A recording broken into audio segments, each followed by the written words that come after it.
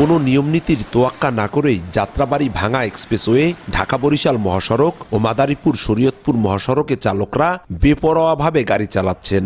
সরকারি আইন মানছেন না অনেক চালক। ফলে মহাসড়কে প্রায় ঘটছে ছোট বড় দুর্ঘটনা।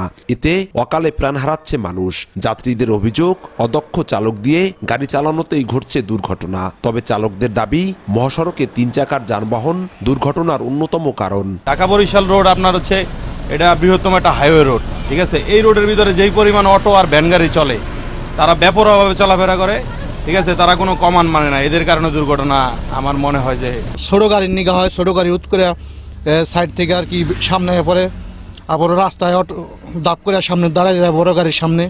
এই কারণে দুর্ঘটনা হয় রাস্তায় ওভার স্পিরিট এক দ্বিতীয়ত ওভারলোড আর বেশিরভাগ পরিবহন রাপ চালায়। মহাসড়কগুলোতে প্রতিদিন কয়েক হাজার মোটরসাইকেল চলাচল করে। একদিকে ওভারলোড অন্যদিকে হেলমেট ছাড়াই ইচ্ছে মতো মোটরসাইকেল চালাচ্ছে তরুণরা। এর মধ্যে গত বাইশ অক্টোবর ঢাকা ভাঙা এক্সপ্রেসওয়ের শিবচরের বন্দর বন্দরখোলায় মোটরসাইকেল নিয়ন্ত্রণ হারিয়ে দুই কলেজ ছাত্রের মৃত্যু হয়। গুরুতর আহত হয় আরও একজন। আর ষোলো নভেম্বর ঢাকা বরিশাল মহাসড়কের সমাদ্দার এলাকায় মাইক্রোবাস দুর্ঘটনায় আহত হন চিত্রনায়ক রুবেল ও তার আট সহযোগী।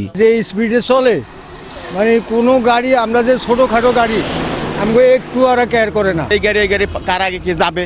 এটার কারণে কার আগে কে ই করবে?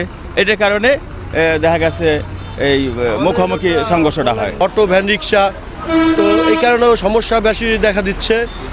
যদি ফোর লাইনটা হয়, তাহলে গাড়ি এক এক সাইড দিয়ে যাবে, এক সাইড দিয়ে আসবে।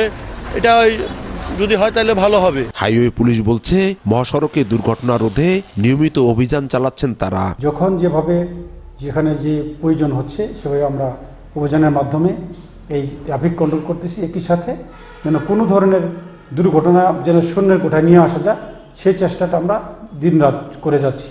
ঘন্টায় এক্সপ্রেসওয়েতে আশি কিলোমিটার মহাসড়কে ষাট ও আঞ্চলিক সড়কে চল্লিশ কিলোমিটার গতিবেগে গাড়ি চালানোর বিধি রয়েছে। দূরপাল্লার পরিবহনের সাথে পাল্লা দিয়ে চলে মোটর সাইকেল বেপরোয়া হয়ে ওঠায় প্রায় দুর্ঘটনায় প্রাণ হারাচ্ছে মানুষ। এর শেষ কোথায়? এমন প্রশ্ন সচেতন মহলের। সঞ্জয় কর্মকার অভিজিৎ, সময় সংবাদ, মাদারীপুর।